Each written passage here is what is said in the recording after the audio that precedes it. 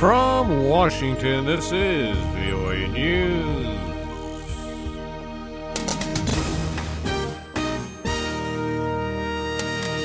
World financial markets plunge. The U.S. works to defuse tensions with Afghanistan. I'm Ray Kouguell reporting from Washington. World stock markets plummeted Thursday after U.S. Federal Reserve Chief Ben Bernanke said the central bank may ease efforts to stimulate the country's improving economy. News of a slowdown in China's manufacturing sector also contributed to a down day on Wall Street. The Dow Jones Industrial Average fell 354 points, 2.3%. Earlier Thursday, key Asian exchanges dropped by 2% or more, with markets in Paris, Frankfurt, and London all falling 3% or more. U.S. Afghan peace talks with the Taliban are facing some rough going following strong objections from the Afghan government. President Hamid Karzai, disturbed by the opening of a Taliban political office this week in Doha, canceled talks with Washington on a troop pact governing U.S. presence in the country after NATO forces withdraw in 2014. Secretary of State John Kerry spoke with President Karzai to ease his concerns. Preliminary negotiations between the U.S. and the Taliban had been expected to begin Thursday in Doha, Qatar, but now the start date is unclear. The UN's top diplomat in Afghanistan says a smooth transition to political power next year largely depends on well planned, credible, and timely elections.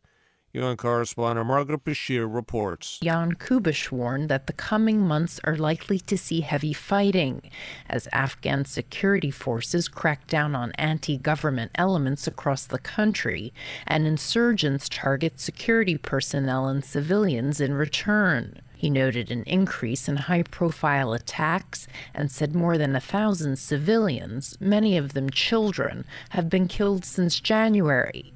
Nearly 25% more people than were killed in the same period last year. Afghanistan is preparing for elections next April. Margaret Besheer, VOA News, the United Nations. At least four people were killed in western Iraq Thursday when a suicide bomber blew himself up in a vote counting center after polls closed in two provinces. The incident occurred in Ramadi in Anbar province, more than 100 kilometers west of Baghdad. No one's claimed responsibility. Voters in Anbar and a second Sunni majority province, Nineveh, cast ballots for local councils. The elections have been postponed for two months because of security concerns. Germany is blocking Turkey's next step towards membership in the European Union over Ankara's crackdown on anti government protests. All 27 EU members must agree whether to move forward on membership talks. Germany's Chancellor Angela Merkel calls Turkey's reaction to the protests appalling.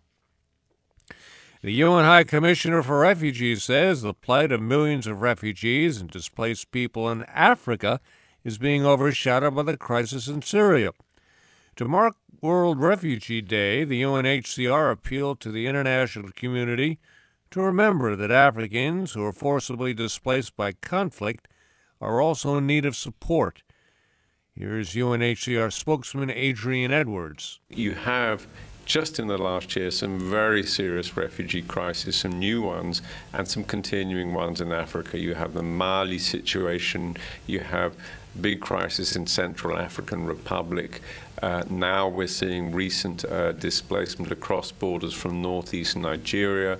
Um, we've had we continue to have Africa's world war, the situation in Democratic Republic of Congo. More than a quarter of a million people were voluntarily repatriated to their homes of origin in Angola, Burundi, Ivory Coast, the DRC, and Liberia.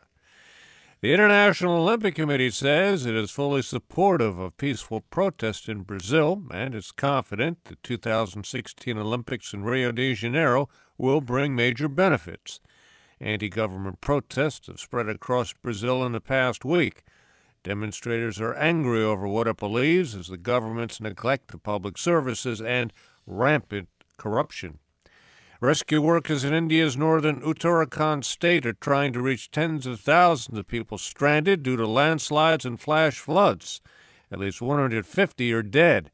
Anjana Pasricha has details. After bridges were washed away and roads blocked by landslides and flash floods in Uttarakhand, Air Force helicopters flew to settlements tucked in the high mountains to evacuate people but the operations were intermittently hampered by bad weather on Thursday. The scale of the devastation in Uttarakhand has unfolded slowly after unprecedented heavy rains battered the state, cutting off communication links with many areas. The state's chief minister has called it a Himalayan tsunami and fears casualties could be very heavy. Anjana Pasricha for VOA News, New Delhi. And I'm Ray Kouguell, VOA News. More at voanews.com.